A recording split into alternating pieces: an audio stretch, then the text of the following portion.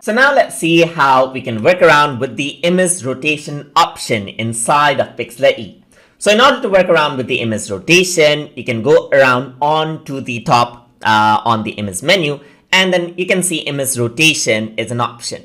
So once you go here, you can see that you can rotate out the image onto the left just like this. So you can go to image, image rotation, rotate it around onto the left or rotate it around onto the right. So uh, a 90 degree rotation happens when you rotate the image onto left or right. You can also go around onto image rotation and flip it horizontally right here or flip it vertically as you can see. And that is how image rotation option inside of Pixlr E works. So over here, you can see that you can go to image rotation just like this and then rotate it out according to what you like. And that is how you can work around with the image rotation option to rotate out images inside of Pixlr E. So I hope you guys learned something as always. And as always, please like, comment, share, and subscribe